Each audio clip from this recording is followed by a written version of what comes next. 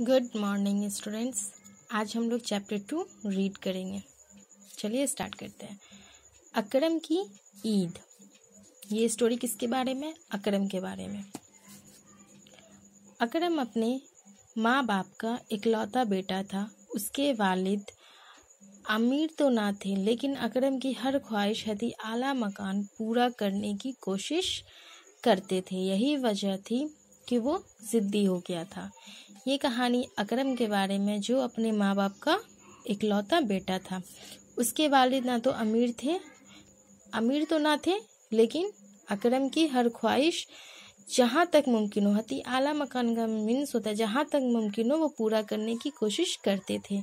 यही वजह था, वजह थी कि वो ज़िद्दी हो गया था।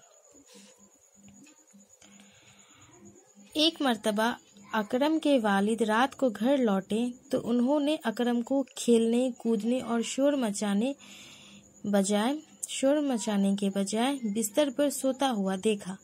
उन्होंने हैरत से अपनी बेगम से उसकी वजह पूछी तो उन्होंने जवाब दिया कि वो अपनी ख्वाहिशात पूरा, पूरी करवाना चाहता है, इसलिए वो आपसे नाराज़ है।